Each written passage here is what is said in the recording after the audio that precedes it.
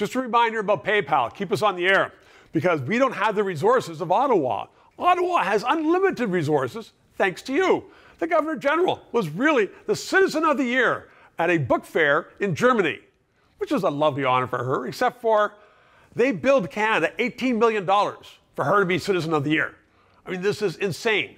Jay Goldberg is with the Canadian Taxpayers Federation. He joins me right now because you have so many other examples of insanity.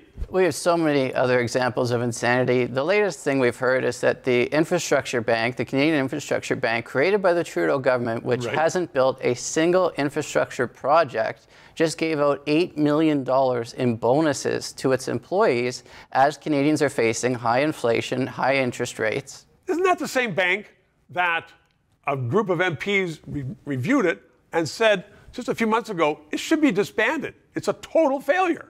Well, the whole rationale in the beginning to start it was a, a, total nonsense, frankly. It was just another government work project that could have been done more efficiently elsewhere.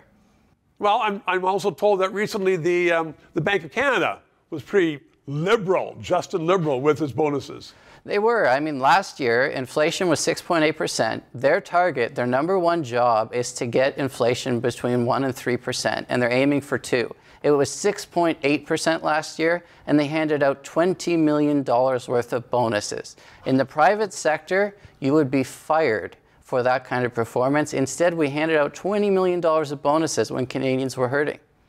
And to add to the imperial Ottawa, the GG, officials, I mean, do these officials, do they account to anybody? I mean, can they just give themselves bonuses? Is there not the Treasury Board ruling over them? There doesn't seem to be any real accountability. The Bank of Canada put out a statement talking about how they have an internal process in deciding how these things work. The bottom line is it's taxpayer money that's going there.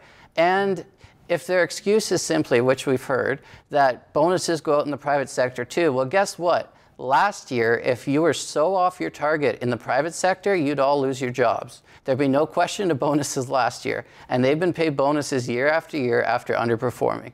I can see the internal processes. There's a committee here and a committee here. This committee says, we will give you bonuses if you give us bonuses. But there's another aspect of the imperial prime ministership, and I know this for a fact. Other prime ministers, there would be his or her car and one or two outriding cars from the RCMP now, I saw a picture the other day of the Prime Minister in Toronto, and just going along, there were seven or eight or nine SUVs all surrounding him, looking like the President of the United States. I mean, this is not for security. This is, this is for aggrandizement.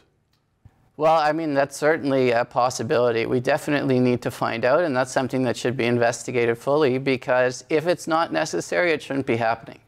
Jay, come back with the answer for that one. Thank you very much, Jay Goldberg, Canadian Taxpayers Federation. Three minutes. I know that many of you viewers are experiencing tough times with those pointless Trudeau taxes. You're watching every dollar, so are we. We run a very lean operation, which is why I'm asking this question of you now. If you know of any companies who want to advertise on this station, good people watch it, as you know, from coast to coast to coast. Please let us know. And in the meantime, please subscribe and PayPal.